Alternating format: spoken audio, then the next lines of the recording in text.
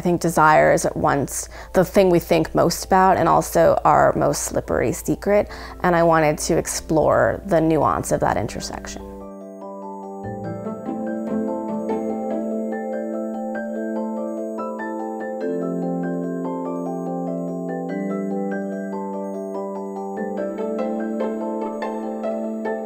My name is Lisa Taddeo, and I am the author of Three Women. I spent eight years talking to these three women. I moved several times to actually live in their towns and to be a fly on the wall as much as I could be, not only on their lives, but on the community around them. And being there to see that on a daily basis was really necessary. She basically went out in the country um, and was using her nose as a reporter. And for me, I was just sitting here in New York, and so I would kind of follow her vicariously across the country when she would send in a new address. One of the ways in which I um, was looking for subjects was to um, drive across the country six times. One of the signs I posted um, said, looking for love, singles needed for blind date study. The unrequited love one, the reason I posted that was because I think it's the most beautiful and haunting um, aspect of human nature, that we will wait for something that we may never get. These three women's stories in specific spoke to me about both the universality of desire and also their specific narratives were so unique and also universal at the same time. Lena was in the middle of, you know, leaving her husband and was had not decided to leave him yet because she was worried about money and spousal support and her children.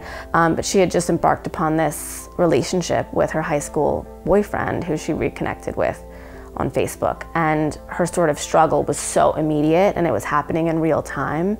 And that was so trenchant to me and so raw.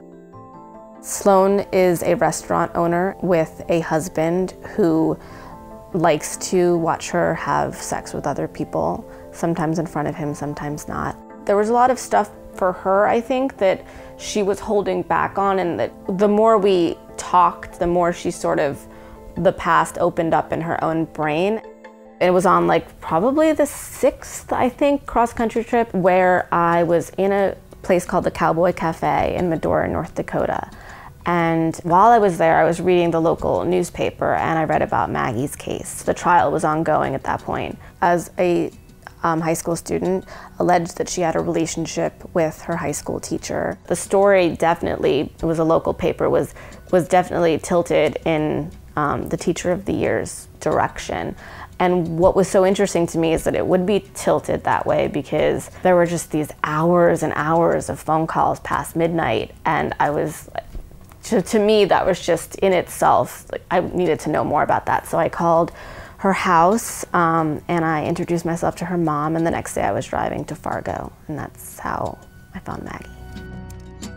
This was definitely a special experience for me as an editor because it is so rare for, for a writer to be so committed to a book that she will spend eight years to get it right.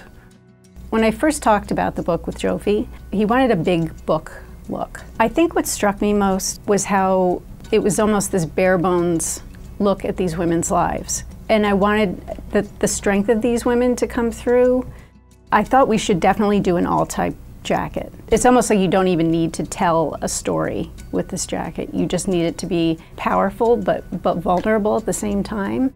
I had a college professor who used to say um, that we read fiction to live other lives. And I would say the same thing about the best nonfiction. That's what Lisa does in this book. You're, you're living other lives um, because of the hours, you know, at the kitchen table, the hours driving around in the car and asking the same question many different ways to get at what's really in somebody's heart. I think that we are all fascinated by desire. We don't talk about it. We go to work, we go to school, we take care of children, we, you know, go on dates. The subliminal thing beneath everything we do is what we want. And what we want is this like raw thing that talking about feels dangerous. There's an element of not wanting a person, but a woman specifically, to get the sort of desire met um, that they want the most.